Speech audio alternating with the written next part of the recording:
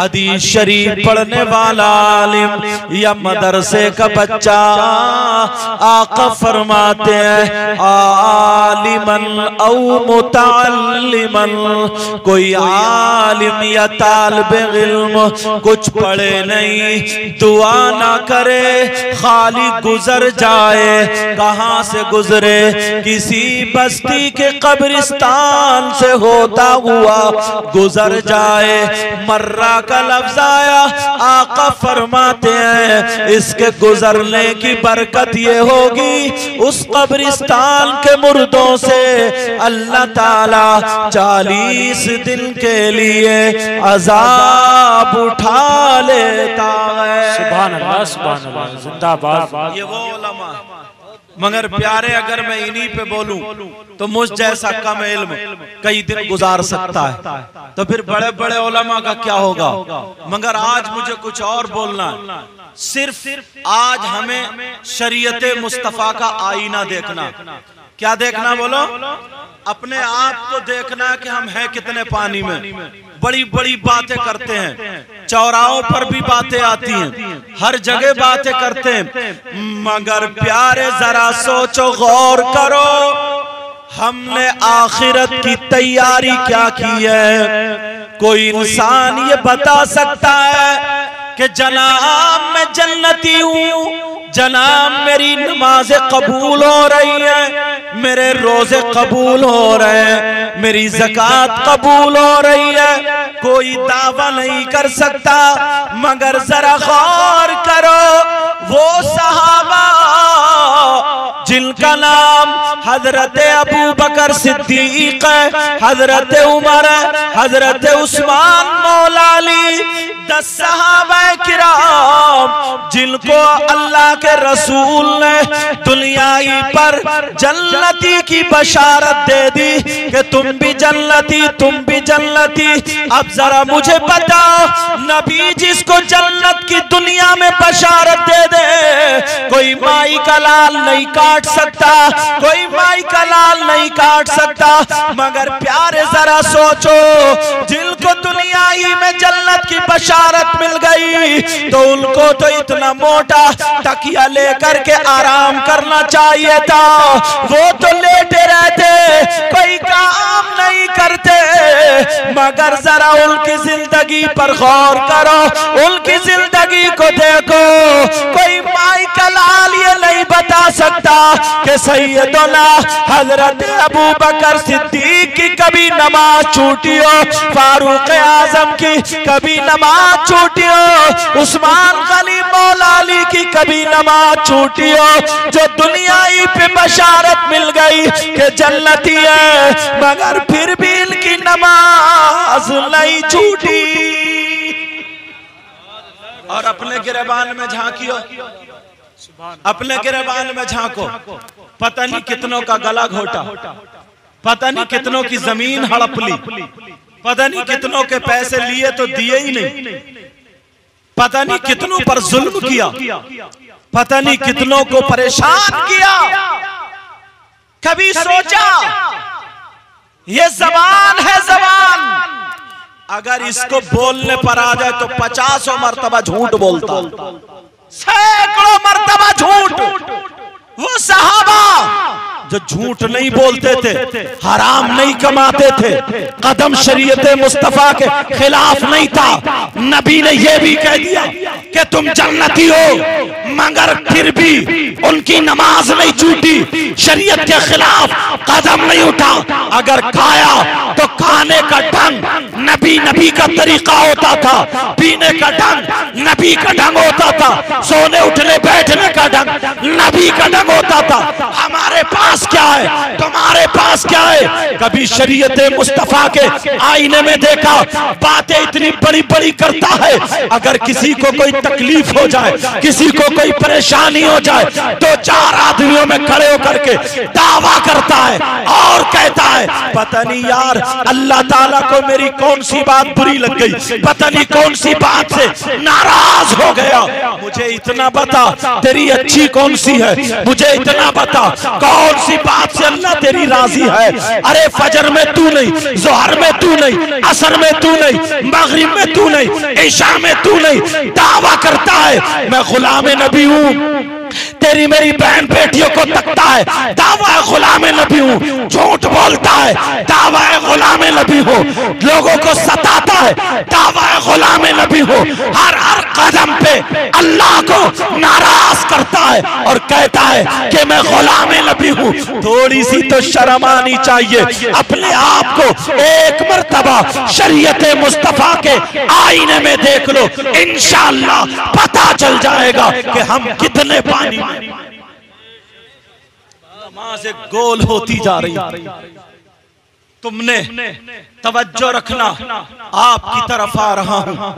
कभी ऐसा शख्स देखा है जिसके भाई का इंतकाल हो जाए और उसका भाई मुर्दा लेटा हुआ हो और उसका सगा भाई गोश्त उसका नोच नोच के खाता हो। देखा कभी ऐसा? कभी आया सामने? तुम में कम से कम पचास परसेंट लोग ऐसे अब आप कहोगे हमने आज तक नहीं देखा। प्यारे एक मरतबा जरा गिरबान में झाँक के देखो। कितना नीच इंसान होगा वो। कितना बुरा इंसान होगा जो अपने मरे हुए भाई का गोश्त नोच नोच के खाता हो। मुर्दा भाई जो इंतकाल कर चुका उसका गोश्त नोच नोच के खा रहा आप कहोगे कैसी बात कर रहे हैं हज़रत? दलील दूँगा तो होश आ जाएगा। होश ठिकाने आ जाएँगे। मगर पता ही नहीं है बास जल से भी अगर हुए हमने हँसी मज़ाक ठिट्टो के नज़र कर दिए। मज़ा ले लिया चले गए। कभी सोचा कोई और नहीं है। दीन और इस्लाम को बर्बाद करने वाले हम ही लोग हम ही लोग हैं। आप कहेंगे कैसे? मैं पूछना चाहता हूँ, कौन है इतने मजमे में? भाई हो या बहन, जो अपने मरे हुए भाई का गोश्त खाता हो, कहेंगे हमने नहीं देखा। होश में आ जाओ। अगर दावा करता हूँ तो दलील भी दूँगा। कौन है तुमने देखा? बता दूँ कौन है? सुनना चाहते हो? और अगर हो तो तोबा करोगे? तोबा करके जाओगे? कुरान गलत नहीं हो सकता। कुरान का एक लफ्ज भी गलत नहीं हो सकता। ये ओलमा बैठे अगर गलत पढ़ूं बोलूँ तो मुझे पकड़ ले ताकि मेरी भी सलाह हो जाए। पूरे हिंदुस्तान में अल्लाह का फजल जाता हूँ और डंके की चोट पे बोलता हूँ। कुरान और हदीस से सबूत देता हूँ। कौन है वो? जो अपने मरे हुए भाई का गोश्त खाने जैसा है। सैयद वाजिद मियाँ साहब से पूछो कुरान में है कि नहीं? बिस्मिल्लाहिर्रहमानिर्रहीम। वला यगतब बादुकुम बादा। अयुहिब्बु अहदुकुम अन याकुला लहमा अखीहि मैतन फकरीतुमु। पूछो इनसे कुरान में है कि नहीं? अब तर्जमा सुनो। कुरान पढ़ोगे तो पता चलेगा। मोबाइलों से फुर्सत मिले तो कुरान पढ़ोगे। बच्चों को मोबाइल। बच्चे तो बच्चे बेटियों तक को मोबाइल। पता नहीं दिमाग कहाँ चला गया। तीन रोटी खा रहे हैं सब बर्बाद कर रहे हैं। दो प्लेट चावल खा रहे हैं सब बर्बाद कर रहे हैं। जवान बेटी को मोबाइल क्यों दिया? किससे बात करेगी? कौन है ऐसा रिश्तेदार? कहा तीर मारेगी?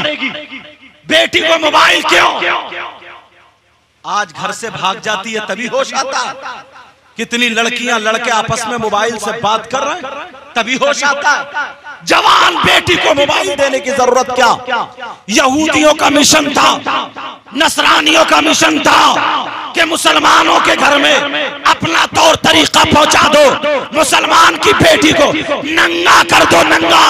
आज हाजी जी की बेटी नंगी हो गई नमाजी की बेटी नंगी हो गई मुसलमान की बेटी नंगी हो गई। शादी में देख लियो अपनी बेटी को देखना। सर पे तो पट्टा नहीं होगा बेटी को देखना, गिरेबान खुला होगा।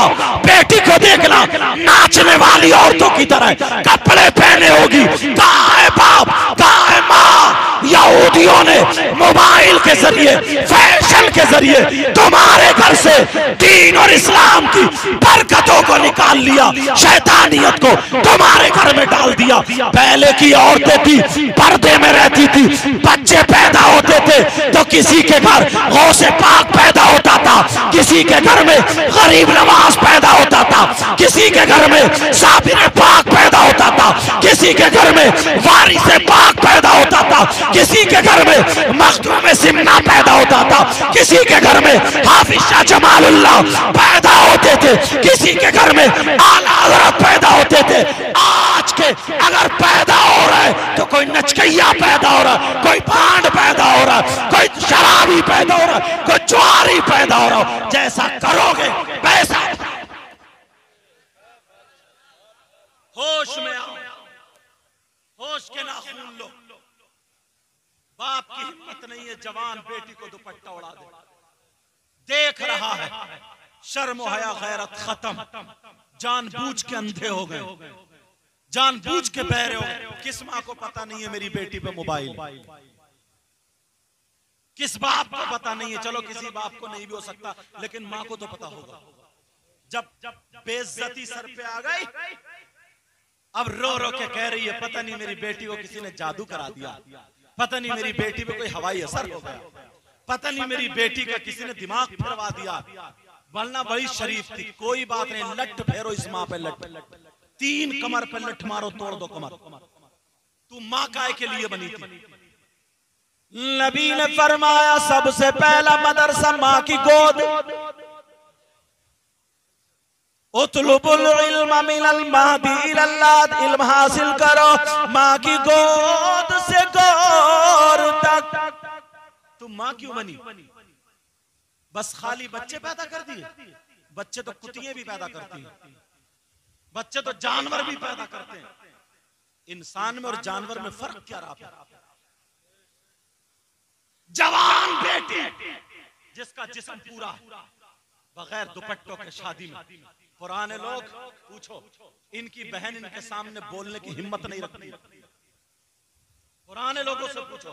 हिम्मत नहीं है हिम्मत। अगर देख ले दो चार आदमी खड़े तो छुप छुप के या तो दूसरे रास्ते से निकल के जाती और आज सर पे वो बड़ा जूड़ा दुपट्टा है नहीं फैशनीले कपड़े। बाप खड़ा ताऊ खड़े चचा खड़े मामू खालू। सारे लोग खड़े ऊँची जगह पे खड़ोगे सेल्फी ले रही है ये ठिट्टे मार रही है। नहीं देख रहे हो क्या? सब देख रहे हैं जानबूझ के अंधे हो गए। कौन है ऐसा। जो अपने मरे हुए भाई का गोश्त खाने जैसा। वहीं पे आओ, बात आगे निकल गई। प्यारे, मेरी तकरीर जरा थोड़ी कर रही होती है, सुन लेना। मेरी वो नहीं होती कि मैं तुम्हें बस चढ़ा चढ़ू के चला जाऊँ। हक बोल के जाऊँगा। तवज्जो रखना, तवज्जो। बुरी लगे तो माफ़ कर देना, मैं किसी का दुश्मन नहीं। डॉक्टर बुराई हटाता जो मैल वगैरह हटाता, दर्द होता, उस वक्त मरीज़ डॉक्टर को बुरा समझता।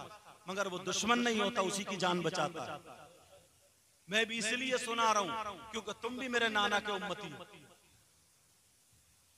सैयद बारिश साहब ने इतने फ़ोन किए। अच्छा मैं तो रात का प्रोग्राम समझ रहा था, फिर हज़रत ने फ़ोन किया तो सो के उठ के आया हूँ। मगर तवज्जो रखो, कौन है जो अपने मरे हुए जैसे भाई का गोश्त खाना? तुम में पचास परसेंट आप कहोगे कैसे? कुरान में है। कुरान का एक एक लफ्ज सच्चा है। कुरान का एक एक हर्फ सच्चा है। बताऊँ कैसे? वला यगतब बादुकुम बादा। अयुहिब्बु अहदुकुम अन याकुला लहमा अखीहि मैतन फकरीतमु। इसका तर्जमा सुनो। अल्लाह फरमाता है। मफहूमन तर्जमा कर रहा हूँ, हज़रत। बहुत पहले से हमारे ताल्लुकात है। लेकिन सुनो, अल्लाह ताला फरमाता है, कोई आपस में एक दूसरे की गीबत करता है, चुगली करता है, पीठ पीछे बुराई करता है तो गीबत करने वाला, चुगली करने वाला, पीठ पीछे बुराई करने वाला, ऐसा है जैसे मरे हुए भाई का गोश्त। कितने लोग हैं बुराई करते? पचास परसेंट। मौका मिलेगा? चौराहे पे खड़ा होगा, तेरी बुराई, मेरी बुराई, इसकी बड़बड़ करके चला गया। कभी सोचा ये जबान मरवा के छोड़ेगी? गीबत करता है, गीबत। चुगली करता है। शरीयत मुस्तफ़ा के आईने में अपने आप को आज छांटो। देखो, तलाशो, कितने दाग हैं। बास बास तो इतनी बुराई पे उतरता पचासों मरतबा बुराई करके आराम से चला था तुमने अगर नमाज़ नहीं पढ़ी, नमाज़ ना पढ़ना बहुत बड़ा गुना बहुत बड़ा गुना बहुत बड़ा गुना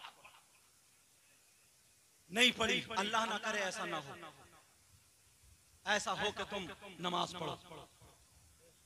नमाज़ अगर नहीं पढ़ी तो अल्लाह ताला अपने करम से माफ़ फरमा देगा।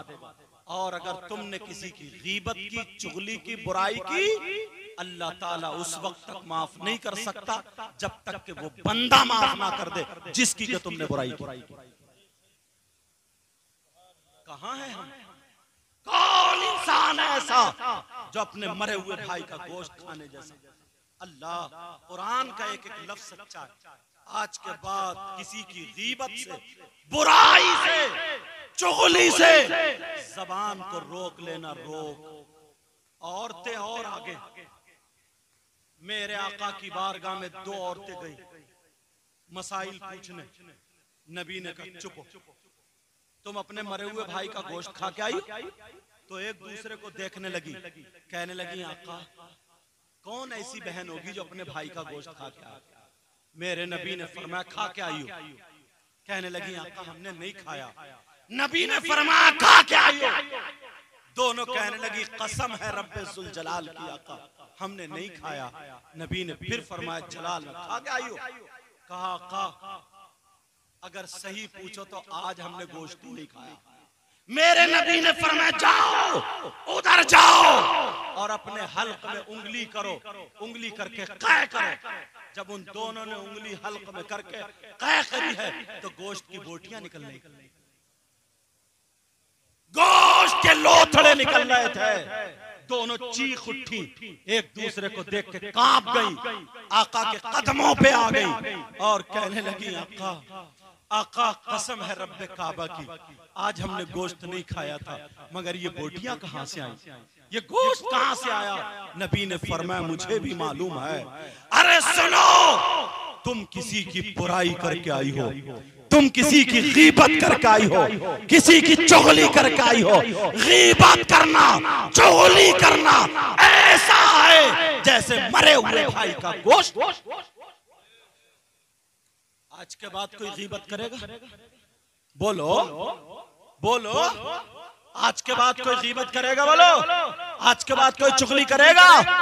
बहुत बड़ी सजा है। इशारे पे शैतान बहका देता है। और एक बात और बता दूँ। इनके अंदर अगर कोई बुराई है या इनके अंदर। और मैं इनके पीठ पीछे बयान करूँ। दूसरा आगे कहते क्यों कर रहा हो? तो मैं कहता हूँ? क्या वो ऐसा है नहीं। ऐसा है जब तो कह रहा हूँ मैं।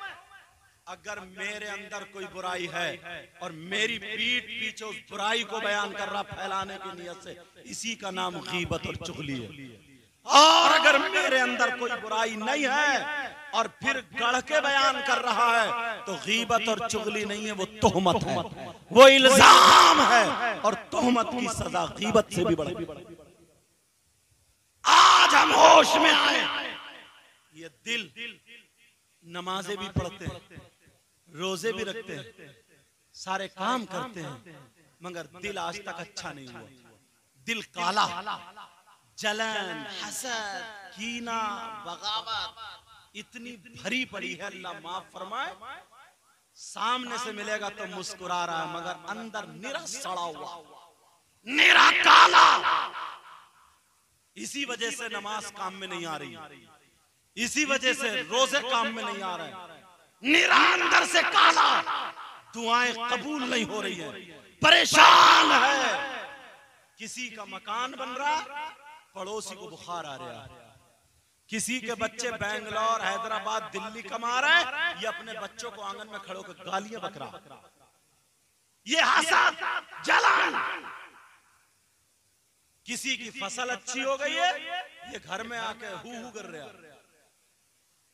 किसी की बेटी, बेटे का रिश्ता अच्छा हुआ तुक में लग गया कि कहीं से कटवा दिया जाए। क्या हो गया हमें? ये दिल काला है दिल। और अगर दिल बर्बाद है ना, दिल। जलन हसद है ना तो नमाजें भी खुशबू नहीं देती हैं प्यारे। कोई इबादत खुशबू नहीं देती है। मुझे एक बात याद आ रही है, अगर इजाज़त हो तो कह दूँ। हदीस शरीफ का मफहूम बताऊँ। हदीस शरीफ। एक रोज मेरे नबी मस्जिद में थे। और तमाम सहाबा आ गए। नबी अब मिम्बर शरीफ पे बैठ गए। सहाबा तमाम नीचे नबी तकरीर करने लगे। नबी क्या करने लगे बोलो? कितना प्यारा वक्त होगा यार। सुनाने वाले नबी और सुनने वाले सहाबा और अली मेरे नबी बयान कर रहे हैं। बयान करते करते करते करते जन्नत की बात आ गई। मेरे नबी ने कहा, जन्नत में हूरे हैं, बाहर हैं। तमाम बातें जब बताई, सहाबा के दिल में आया, जन्नत में तो यार हम ही लोग रहेंगे ना। कैसी वो जन्नत? नबी ने दिल की बात पकड़ ली। आका थे वो। नबी बयान करते करते बोले, सुनो, तुम जन्नत में खुश हो रहे हो? क्या आज तुम जन्नती को नहीं देखोगे? क्या जन्नती का दीदार करना चाहते हो? तमाम सहाबा ने अर्ज़ किया हाँ आका बता दीजिए हमें दीदार करा दीजिए दुनिया ही पे जन्नती का। अपने अपने मर्ज़ी के एतबार से लोगों ने सोचा कि यार ये नमाजें बहुत पढ़ते हैं इन्हीं को आका कहेंगे। किसी ने कहा यार ये रोज़े बहुत रखते हैं इन्हीं को आका कहेंगे। किसी ने कहा ये आका की जूतियाँ भी उठाते हैं वज़ू बनवाते सारे काम करते खिदमत करते इन्हीं को कहेंगे किसी ने कहा आका इनको बहुत प्यार करते हैं, मोहब्बत करते हैं, इन्हीं को कहेंगे। अपने अपना ख्याल लोगों का। और कुछ ये सोच रहे थे, काश आज मेरा नंबर आ जाए। कुछ ये सोच रहे, काश मेरा नंबर आ जाए। नबी ने फरमाया, सुनो, जन्नती का दीदार करना चाहते हो का जी आका मेरे नबी ने इधर देखा इधर देखा इधर देखा। आँखों को बंद किया, बंद करने के बाद आँखें खोली और खोलने के बाद, सुनो मस्जिद के दरवाजे को देखो। और जो अब आ रहा है, उसका दीदार कर लो जन्नती। तमाम लोगों ने देखा, कौन भाई इतना मुत्तकी परहेजगार। बड़े बड़े सहाबा यहाँ बैठे हैं। तो जब सबने देखा, मस्जिद की तरफ़ तो एक सीधे सादे भोले वाले कपड़े भी सुकड़े हुए, वज़ू बना के, दाढ़ी ऐसी जैसी ताज़ा, एक चचा मियाँ आ रहे थे। सीधे साधे चचा मियाँ। जब देखा कहा ओ हो ये जन्नती। दिल में ख्याल आया यार इनसे ज़्यादा नमाजें तो हम पढ़ते हैं। होता नहीं होता इस तरीके की बातें आई। मेरे नबी ने फरमाया जन्नती है। उन्हें चचा मियाँ सीधे साधे भोले बालों को उन्हें पता ही नहीं। उन्होंने नबी के हाथ को चूमा बोसा दिया और एक तरफ़ बैठ गए अब तमाम सहाबा के यार इनमें कौन सी ऐसी बात है भाई बड़े बड़े कुरान पढ़ने वाले रातों रात जो मस्जिद में रहते हैं, जिनको हमामतुल मस्जिद कहा जाता है कि मस्जिद का परिंदा फाख्ता कबूतर, इनका नंबर नहीं आया, इन चचा में कौन सी क्वालिटी है? खैर, कोई बात नहीं, महफिल ही चले गए। दूसरे दिन को सहाबा ने सोचा, चलो आज फिर आका जन्नत। फिर बयान आका ने फरमाया, सहाबा ने फिर ज़िक्र छेड़ दिया। काका, आज और जन्नती का दीदार करा दो। किसी ने सोचा, आज तो मेरा आएगा मेरा आएगा मेरा आएगा। मगर नबी ने कहा, आज फिर मस्जिद के दरवाजे को देखो, और जो आ रहा है, वही जन्नती है। जब देखा तो कल वाले चचा आज भी आ रहे हैं। सुभान बोलो ना। अगर तुम होते तो तुम कहते, बोली क्या है? कहते, यार, इन चचा की फ्री में लग गई। अपनी बोली संभालो, अल्लाह के बंदो। अगर सैयद साहब को मस्जिद में रमज़ान में नजराना मिल जाए तो जो ज़्यादा करीब रहते हैं ना, एक दो कह दे सैयद साहब, रात कितने मार दिए बोलते नहीं, बोलते। किसी से कहते इमाम साहब, कारी साहब, हज़रत मौला, कितने मार दिए इमाम साहब? एक बात बताओ यार, ये इमाम है, उग्रवादी। मारने का मतलब क्या? अपनी अपनी मुझे मालूम है तुम्हारा नियत गलत नहीं है तुम्हारी, मगर जबान भी अच्छी करो ना। आप जब देखा तो वही वही सीधे साधे भोले वाले चचा मियाँ फिर आ रहा है। दाढ़ी उनकी वैसी, कपड़े वैसे, आए और नबी के हाथ को बोसा दिया, फिर बैठ गए। उन्हें पता नहीं, सहाबा कभी नबी को देखे तो कभी उन्हें देखे। अब ऐसे आलम में कोई तकरीर सुनेगा? दिल तो उधर ही रहेगा कि यार इनमें कोई ना कोई तो क्वालिटी है। ये फैसला कर लिया, कोई ना कोई ऐसी क्वालिटी है जो हम में सब में नहीं है। तीसरा दिन फिर आ गया और तीसरे दिन के बयान में फिर सहाबा ने छेड़ दिया कि आका आज और जन्नती का दीदार करा दो। सब अपने आप को दिखाने लगे, अपने आप को दिखाने लगे।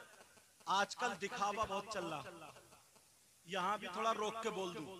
अगर नोट देने भी आएँगे तो बाज बाज तो गिन के ही देता। है जैसे कर्जा आ रहा कम ना हो जाए ज़्यादा ना हो जाए। गिन के देने का मतलब क्या? या तो तुम लोगों को दिखा रहा हो ये दिया ये दिया। तो दिखावे का नोट क्या अगर नमाज़ पढ़ोगे तो वो भी मुँह पे मार दी जाएगी। पाँच सौ का नीचे रखेगा और दे के दस का जाएगा। ये दिखावा नहीं है क्या? मस्जिद में दस रुपए देगा और इमाम के मुँह को बार बार देखेगा और कहेगा यार अभी मेरा नाम नहीं आया। नाम ही कर लो अब तो दस रुपए में नाम। फिर ने किया दिखावा। नमाज़ जनाजा में भी अगर खड़े होंगे तो कुछ लोग आगे वाली सब में टेढ़े खड़े होकर खूब ज़ोर से बोलेंगे सफे सीधी कर लियो सफे इसका मतलब क्या है? हम भी आए हैं। और खुद टेढ़ा खड़ा अब तीसरा दिन जब देखा कहा कि आज फिर जन्नती का दीदार करा दो। मेरे आका ने फरमाया फिर मस्जिद के दरवाजे को देखो। अब जब देखा तो तीसरे दिन भी वही चचा रहे अब तो पक्का हो गया। सीधे साधे भोले वाले चचा मिया। आके बैठ गए। एक सहाबी जो जवान सहाबी थे जिनका नाम हज़रत आसिम था। महफिल के बाद वो चचा मियाँ के पास गए और जाकर के बोले चचा मियाँ मैं आपके साथ रहना चाहता हूँ। क्यों? इसलिए दोस्ती क्यों है ताकि इनके अंदर देखूँ कौन सा अमल है। कौन सी नेकी है? कौन सा अच्छा काम है, जिससे अल्लाह और रसूल राज़ी है? बेटा जिससे अल्लाह और रसूल राज़ी है जिससे अल्लाह और रसूल खुश है। कौन सी क्वालिटी है इनके अंदर? कोई ना कोई तो बात है। मुझे आज वही नेकी हासिल करनी है। तुम जाते हो नेकियों के लिए। ओलमा के पास बैठते हो। ओलमा के करीब होते हो। इनसे नमाजें सीखते हो। अच्छी बातें सीखते हो। हुजरे में बैठ के बुराइयाँ करता। हुजरे में बैठ के चुगली करता। इमाम ने टोपी उतार ली तो दस जगह आके बुराई करता। इमाम को भी नहीं छोड़ता। ये साहब, ये रसूल। कहने लगे कहने लगे, चचा मियाँ, मैं आपके साथ रहना चाहता हूँ। चचा मिया बोले, बेटा, मेरे साथ क्या करोगे? मैं गरीब इंसान हूँ। खाने पीने अच्छा मिलेगा नहीं। कहा कुछ भी हो जाए, भूखा रह लू, साथ में रहूँगा। नेकी की तलब में थे। उन चचा को जब मैंने हदीसों में टटोला, जब उनको देखा, इनका काम क्या था तो ये मदीना पाक में जो लोग खजूरे खा करके गुठरी फेंक दिया करते थे चचा के पास चमड़े का थैला था। वो गुठरियाँ उठा उठा करके, बीन बीन करके, उस थैले में इकट्ठी करके, सुखा करके बाज़ार में बेचते थे। लोग चूल्हे वगैरह जलाने में ईंधन की जगह उसको खरीदते थे। चचा मियाँ का रोज़ाना ये काम था और शाम तक करते थे, फिर बेच दिया करते थे। शाम को जितना होता था, उतना खाना खा लिया करते थे। बाकी सबको खैरात कर दिया करते थे। गरीबों को दे दिया करते थे, सदका कर दिया करते थे।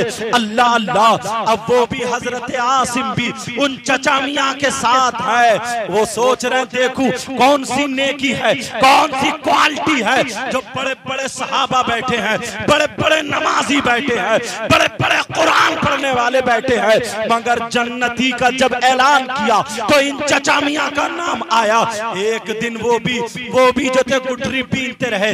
जब शाम हो गई। चचा मिया ने कहा बेटा खाना खा लो। तुम्हारी चटाई वो है। मेरी चटाई ये है। सो जाओ। इनशाला फजर में उठेंगे। जब इतना कहा तो चचा मिया तो सो गए। मगर हज़रत आसिम नहीं सोए। उन्होंने सोचा अगर मैं सो गया और सोने के बाद चचमिया उठकर कुछ पढ़ने लगे? कौन सी नेकी करने लगे? क्या करने लगे? तो फिर मेरा रहने का मकसद हो जाएगा। एक दिन नहीं सोए। हज़रत आसिम बोले चचा मियाँ आज बचा गए तुम। कल को देखूँगा। दूसरा दिन हुआ। कहा बेटा खाना खाओ। तुम्हारी चटाई वो मेरा बिस्तर ये दोनों जब लेटे। चचा मियाँ तो आराम से सोए। हज़रत आसिम नहीं सोए। तीसरा दिन भी ऐसे ही हो गया अब बताओ अगर कोई तीन दिन तीन रातें जगले उसकी आँखों का क्या आलम होगा? उसका क्या आलम होगा? लोग पहले नेकी कैसे तलाशते थे? कैसे नेकियाँ ढूंढा करते थे? मगर आज हम हैं गुनाहों की तरफ़ जा रहे हैं। नेकियाँ क्या बुराइयों की तरफ़ जा रहे हैं? किसी के यहाँ अगर सुन्नत रसूल है तो उसमें भी डीजे बजा रहा उसमें भी ढोल ताशे बाजे बजा रहा। किसी के यहाँ शादी है सुन्नत रसूल हो रही है उसमें भी डीजे रख के मोहल्ले के घोड़े नाच रहे हैं। छतों पे लड़कियाँ खड़ी हैं। औरतें खड़ी हैं। ये अपने कूले मटका रहा नाच दिखा रहा। शर्ट उतार के घुमा घुमा के नाच रहा। इससे पूछो अरे तू किसे कूले दिखा रहा? किसकी तरफ़ को कूले मटका रहा? छत पे तेरी माँ खड़ी है तेरी बहन खड़ी है तेरी चची खड़ी है तेरी भांजी खड़ी है। अरे शर्म करो गैरत करो। नेकियों को तलाशो। हज़रत आसिम का तीसरा दिन हो गया। कोई नेकी हाथ नहीं आई। अल्लाह अल्लाह, तीसरे दिन कहने लगे, चचा मियाँ, मैं जा रहा हूँ, मैं जाना चाहता हूँ। चचा मियाँ बोले, बेटा, एक बात बता। चचा मियाँ भी बड़े सीधे थे। कहने लगे, बेटा, एक बात बता, तू मेरे साथ तीन दिन क्यों रहा? रहने का मतलब क्या था? वो सहाबी थे झूठ नहीं बोल सकते थे। उन्होंने कहा, चचा मियाँ, नबी ने जन्नती का ऐलान किया। तीनों दिन तुम्हारे अंदर, तुम्हारे ऊपर निशान आया, तुम्हारी तरफ़ इशारा हुआ। कोई ना कोई क्वालिटी है। कौन सा ऐसा अमल करते हो? कौन सा ऐसा काम करते हो जिससे अल्लाह भी राज़ी है, रसूलुल्लाह भी राज़ी है? बड़े बड़े सहाबा के दरमियान तुम्हारा नंबर आया। कोई तो बात होगी। वो क्वालिटी देखना चाह रहा था। वो क्वालिटी ढूंढ रहा था। चचा मियाँ मुस्कुरा के बोले, बेटा, फिर तुम्हें कोई क्वालिटी मिली? कोई अमल मिला? कहने लगा, चचा, माफ़ करना। वो सहाबी कहने लगे, चचा, माफ़ करना। तुम तुम भी नमाज़ पढ़ते हो, मगर तुमसे ज़्यादा नमाजें हम पढ़ते हैं। कुरान तुम भी पढ़ते हो, मगर तुमसे ज़्यादा कुरान हम पढ़ते हैं। बड़े बड़े साहबा है, कोई क्वालिटी नहीं मिली। तो फिर चचा मियाँ बोले, बेटा, तू मेरा तीन दिन मेहमान रहा है। चल मुझ पे अब बनता है कि मैं जो मेरे अंदर क्वालिटी है वो तुम्हें बता दू। बोलो, सुनना चाह रहे हो? तुम सुनना चाह रहे हो क्वालिटी कौन सी है? लेकिन वो क्वालिटी उस वक्त बताऊँगा। मुझसे वायदा करो इंशाल्लाह अपने अंदर वो क्वालिटी पैदा करोगे। बोलो, पैदा करोगे, बोलो। इस पे अमल करोगे। हाथ उठा के बोलो, अगर अमल करोगे तो। बोलो, इंशाल्लाह। अगर अमल करोगे तो बताऊँगा वरना रहने दो वरना यही तकरीर छोड़ दो। बोलो क्या इरादा? सुनना चाह रहे हो? चचा मियाँ के अंदर क्वालिटी क्या थी? सुनो प्यारे चचा मियाँ के अंदर क्वालिटी क्या थी? चचा मियाँ बोले बेटा नमाज़ मैं भी पढ़ता हूँ तुम भी पढ़ते हो रोज़े मैं भी रखता हूँ तुम भी रखते हो कुरान मैं भी पढ़ता हूँ तुम भी पढ़ते हो कोई मेरा कोई मेरा कदम शरीयत मुस्तफ़ा के खिलाफ देखा का नहीं देखा का तुम्हारा भी कोई कदम। शरीयत मुस्तफ़ा के खिलाफ नहीं है। तो फिर क्वालिटी क्या है? सुन लो, वो क्वालिटी ये है। वो साहब ये रसूल बोले, चाचा मियाँ बोले, बेटा, जब से मैंने होश संभाला है, जब से मैंने थोड़ा कदम दुनिया पे रखा है, मुझे होश आया है। उस दिन से आज तक मैंने किसी की तरफ़ से अपने दिल में मैल नहीं रखा है, हसद नहीं रखा, कीना नहीं रखा, जलन नहीं रखा तकबर नहीं आया, बगावत नहीं की। आज तक मेरे अंदर जलन, हसद, कीना, बगावत नहीं आई। मेरे अंदर क्वालिटी ये है कि मैं अपने दिल में किसी की तरफ़ से मैल नहीं आज से जलन रखोगे? बोलो बोलो। हसद रखोगे? कीना रखोगे? तकबर रखोगे? गुरूर रखोगे? आज से जलन हसद की ना नहीं ताकि ये चालीसवे की फातहा तुम्हारे लिए ऐसी बन जाए कि जो ज़िक्र हो उनके लिए इसाले सवाब आप अमल करो तो आपके लिए जन्नत। ऐसा ये प्रोग्राम हो जाए। अगर हर हर बात पे हम तोबा करेंगे तो इंशाल्लाह कामयाबी की तरफ़ मंजिलें हमें हमारा इंतज़ार कर इंशाल्लाह कामयाबी हमारे कदम चूमेगी। मगर जलन हसद कीना बगावत कूट कूट के भरा पड़ा। नमाजी तो है मगर दिल साफ़ नहीं है। हाजी तो है मगर दिल साफ़ नहीं। कुरान तो पढ़ता है, मगर दिल साफ़ नहीं। हज़रत आसिम मस्जिद में गए, नबी ये कपड़ा उतार रहे थे। मुस्कुरा के बोले, आसिम, क्वालिटी का पता चल गया? अल्लाह बोलो, क्वालिटी का पता चल गया। शरीयत मुस्तफ़ा के आईने में देखो, बड़ी बड़ी बातें करते हो। यहाँ से लेकर के, इस तरफ़ से लेकर के, आधे लोग ऐसे होंगे। जिनकी नमाज़ जनाजा सही होगी। नमाज़ जनाजा याद होगी। आधे लोगों के नमाज़ जनाजा याद नहीं। अरे जने कितने ऐसे हज़रत जिन्हें मिट्टी देने की दुआ याद नहीं। एक जगह नमाज़ पढ़ने के लिए बुला लिया मुझे कि सही है साहब आ जाना पहुँच गए। गर्मी का मौसम। नमाज़ पढ़ा दी पेड़ के नीचे में खड़ा हो गया। आम का पेड़ था। मैंने सोचा भी लोग मिट्टी दे ले हल्के हो जाएँगे कम हो जाए तभी जाऊँगा। मिट्टी देने जब लोग हल्के हो गए मैं गया मेरे सामने एक आदमी था आस्ती ने चढ़ाई उसने और मिट्टी उठाई तो कम से कम तीन चार मिनट मिलता रहा मुँह चलाता रहा झूमता रहा मुँह चलाता रहा। मैं समझ गया इसके दुआ याद नहीं।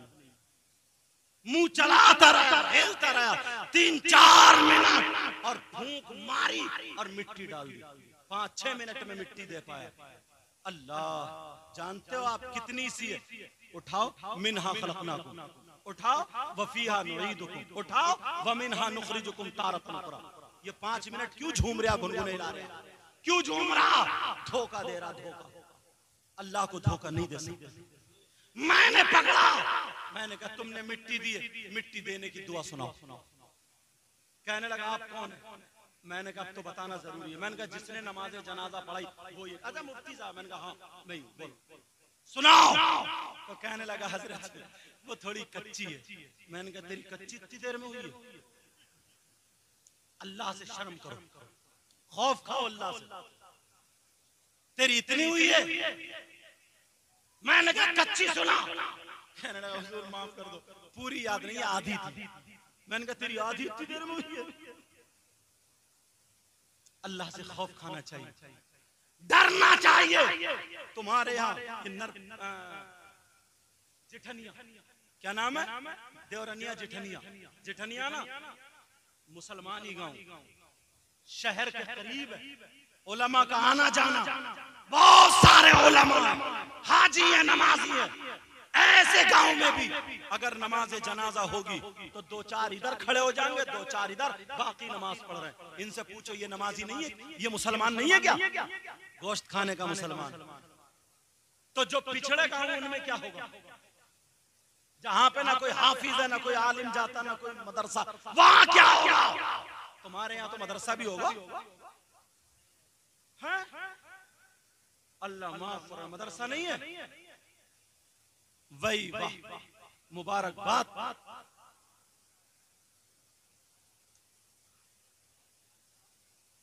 यही तो पूछ रहा हूँ मैं। नबी के गुलाम। और नबी का घर नहीं? मदरसा। क्या होता मदरसा? नबी का घर होता। मस्जिद अल्लाह का घर है। अरे, अपनी फैक्ट्री लगा लेते हो। अपनी दुकान लगा लेते हो। अपनी खेती कर लेते हो। कारोबार कर लेते हो। सब कुछ करते हो। दीन की फैक्ट्री नहीं लगाते हो? दीन का कारखाना नहीं लगाते हो। तुम्हारी दुकान से जूता चप्पल मिलेगा। कपड़े मिलेंगे रुमाल मिलेगा। ये सारी चीज़ें मिलेंगी।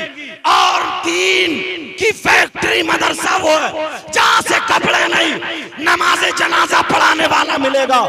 बच्चा पैदा हो अजान कान में पढ़ने वाला मिलेगा। हाफिज कुरान मिलेगा।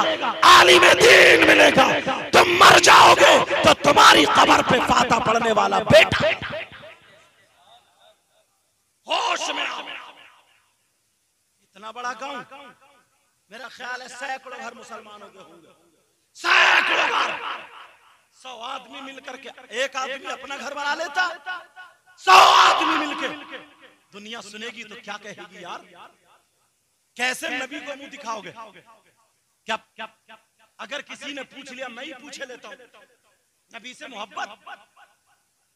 गुलामियत का दावा। और नबी का घर तुम्हारे गाँव में नहीं।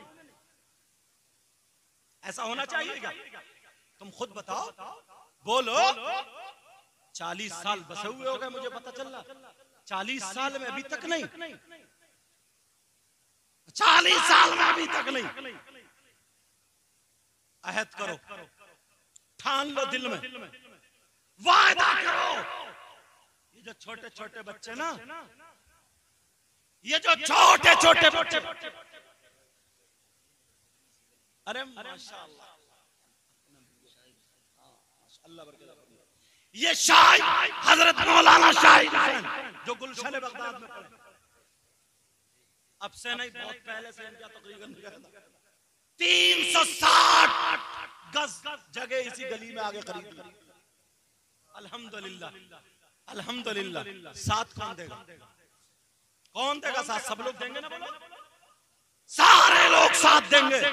और एक साल अब कभी आना हो या मुझे पता चले तो ये ना सुनने मिले कि हमारे गाँव में मदरसा नहीं। यार छोटे छोटे लोग सब कुछ कर लेते। सोचने की ये इतने इतने बड़े बच्चे इतने बड़े बच्चे मोबाइल चला रहे हैं। इन्हें पता नहीं है। मोबाइल की सारे बातें जानता रात एक साहब बोले साहब दस साल की बच्ची ने दस साल के बच्चे ने कितने गाँवों कितने जिलों के नाम गिना पिछहत्तर जिलों के नाम गिना दिए थे एक ही मरतबा में एक मरतबा में पिछहत्तर जिलों के नाम हो जाता मैंने कहा डूबना चाहिए तो मुसलमान दस साल का बेटा होता। तो तीस पारों का हाफिज कुरान काले होकर के कुरान खुशकिस्मत वाले रसूल तुम्हारे यहाँ है। नबी के शहजादे तुम्हारे यहाँ। है तुम्हारी गुजर गई गुजर गई। अपनी फ़सल संभालो। ये तुम्हारी फ़सल है। वरना क्या होगा? मोबाइल देखेंगे लफंगे बनेंगे। वही गुटके और वो तंबाकू खाएँगे पैसे छीनेंगे। जब पैसे नहीं रहेंगे कमाएँगे कुछ नहीं। किसी की मोटर खोल लेंगे। किसी के ट्रैक्टर की बैटरी खोल लेंगे। किसी का नल खोल के ले जाएँगे। किसी का कुछ करेंगे किसी का कुछ अपने बच्चों को इन तमाम चीज़ों से बचाओ। अगर बचाना है तो मदरसा बनाओ। हम भी जो आज कुर्सी पे बैठ के बोल रहे हैं माँ के पेट से आलिम पैदा नहीं हुए। ये जितने मौलाना हैं सब मदरसों में आए। आज पूरे हिंदुस्तान में सैयद साहब तुम्हारे यहाँ नमाज़ ये भी मदरसा इनका बेटा रसूल है। चमन फातिमा का खुशबूदार फूल। अरे खुशकिस्मत है आप लोग। मगर मदरसा नहीं यार गलत गलत गलत बात। चैनल वालों ये बात काट दी अच्छा। जाए ज़्यादा दूर तक तो अच्छा नहीं है। मगर तुम अहद करो। अहद करो वायदा करो। वायदा लो मुझसे बोलो हाथ उठाओ सब लोग। हाथ उठाओ। बोलो इंशाल्लाह हर दीनी काम में साथ देंगे। हर दीनी काम में साथ देंगे। इंशाल्लाह रख लो। बात वहीं पे चल रही थी। वहीं पहुंचो। कहाँ बात थी याद नबी बोले आसिम क्वालिटी का पता चल गया। तो आज के बाद किसी से जलन करोगे? हसद करोगे? एक हदीस और सुनो पहले टाइम बताओ ज़्यादा तो नहीं हुआ? बोलू या खत्म कर लू? अच्छा। इजा बता दियो मुझे। बातें असल में रातों को हम तकरीरें करते हैं वो जलसा होता है हर दो मिनट पाँच मिनट में लोग नारा लगाते हैं। मगर ऐसी महफिलें कम होती हैं जिसमें दिल का दर्द और दुख सुनाने का मौका मिलता है। लोग भी छठे हुए होते हैं और सुनाने और सुनने वाले सारे लोग छठे हुए होते हैं। सुनना चाह रहे हो सब लोग? नबी की उम्मत मुसलमान ईमान वाले, ये सुनने की। कितने लोग ऐसे हैं, ढूंढो और तलाशो। तलाशो। कितने लोग ऐसे हैं जो तकरीर करें तो उनकी तकरीर कबूल नहीं होती। नात पढ़े तो उनकी नात भी कबूल नहीं होती। निजामत करें तो उनकी निजामत भी कबूल नहीं। नमाज़ पढ़े। नमाज़ भी कबूल नहीं। अल्लाह। रोजा रखे रोजा भी कबूल नहीं। जक़ात दे जक़ात भी कबूल नहीं। हज करे हज भी कबूल नहीं। कोई भी इबादत करे। कोई भी इबादत कोई इबादत काबिल कबूल नहीं। ढूंढो तलाशो इजाज़त हो तो बताओ। जी जी। अगर तुम में कोई ऐसा हो तो तोबा कर लियो। ताकि मेरे आने का मकसद पूरा हो जाए। तोबा कर लेना। तलाशो ढूंढो। नबी फरमाते हैं, सुनने की बात है, यार, कितना बुरा आदमी होगा वो, जिसकी नमाज़ भी कबूल ना हो, रोज़े भी कबूल ना हो, जक़ात भी कबूल ना हो, हज भी कबूल ना हो, तकरीर, नात, निजामत, कुछ भी कबूल ना हो। कौन सा ऐसा इसने जुर्म कर लिया? कौन सा ऐसा गुना कर लिया? कौन सा ऐसा पाप कर लिया? कौन सा ऐसा क्रिमिनल है ये? जो कुछ पढ़े तो कबूल ही नहीं। ओलमा बैठे, अगर कोई शराब पी ले, अल्लाह ना करे पीओ मत